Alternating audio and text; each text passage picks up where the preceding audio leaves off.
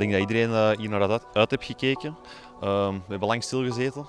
En uh, eerste samenkomst en dat is uh, plezant voor iedereen. Van half maart liggen we al stil met, met trainingen, wedstrijden. Dus ja, de goesting is zeker groot om, om een nieuw seizoen te beginnen. Het werd zeker tijd, zeker na de coronatijd. Um, nee, maar het is heel leuk en, en plezierig om alle spelers fit en wel een, een eerste keer te kunnen verwelkomen.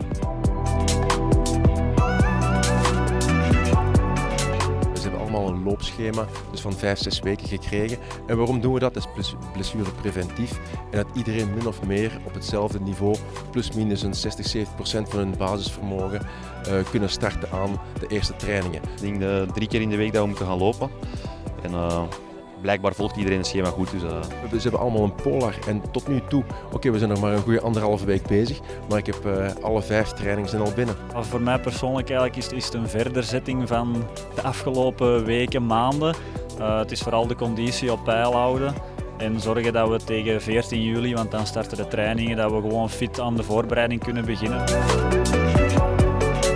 We hebben een, een, een heel degelijke club, een heel degelijke ploeg. Dus, en daar moeten nu die jonge gasten zich gaan integreren. In de voorbereiding gaan ze zeker hun kansen krijgen. Um, Oké, okay, de jongens zullen zelf ondervinden dat het niveau, het tempo iets hoger zal liggen ehm, dan, dan vorig jaar. En ook bij de beloftekern. Dus met alle respect voor die beloftespelers. Dus maar het gaat iets sneller, iets steviger. En uh, zij moeten gewoon nu uh, in drie, vier maanden eigenlijk gaan oppikken wat ze normaal gezien een jaar voor krijgen vanaf juli uh, zullen we graag wedstrijden gaan spelen. En mag dat? Kan dat? Oké, misschien 50 man, misschien 200 man, dan moeten we een beetje kijken. Maar vanaf 1 augustus ligt het schema vast. En dat is een heel goed schema.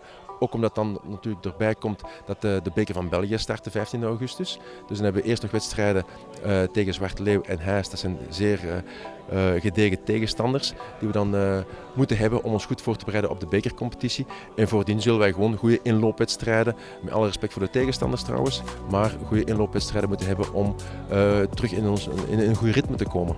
Voor mij mag het vrij intensief zijn, maar toch liefst opbouwend en zoveel mogelijk met de bal. dat is toch nog nog mijn voorkeur. Ja. Het was al denk ik vier jaar geleden dat ik hier nog was geweest. En ja, toch wel uh, mooi stadion en uh, het veldje ligt er goed bij. Dus kijk er naar uit.